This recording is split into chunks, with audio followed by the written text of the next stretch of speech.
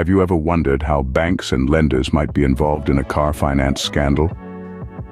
The UK's Financial Conduct Authority, or FCA, is currently digging deep into such a scandal.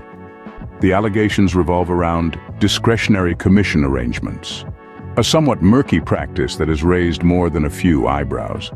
This investigation, which kicked off in January, is facing its fair share of challenges, especially when it comes to data collection. The plot thickens with Barclays stepping into the ring, initiating a judicial review against a ruling by the Financial Ombudsman Service. The outcome of this review could significantly impact the FCA's approach to the issue.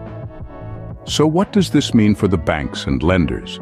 The stakes are high, and the financial institutions are bracing themselves.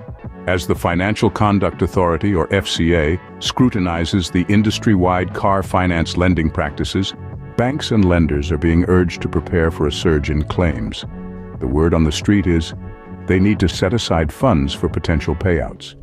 Now you may be wondering just how big this could get.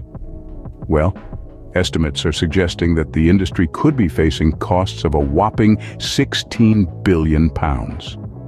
That's an amount that could shake up the banking sector significantly. This could potentially result in a significant financial hit for the banks and lenders involved. But what are the wider implications of this scandal, and what should banks and lenders do now? This car finance scandal could rattle the very foundations of consumer trust in banks and financial institutions. It could potentially trigger a shift in regulatory practices, leading to more stringent oversight of lending procedures.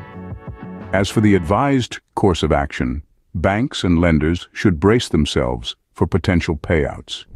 They are urged to review their current lending practices, ensuring they not only meet but exceed regulatory standards. These institutions should view this as an opportunity to demonstrate their commitment to ethical lending and to regain the trust of their customers.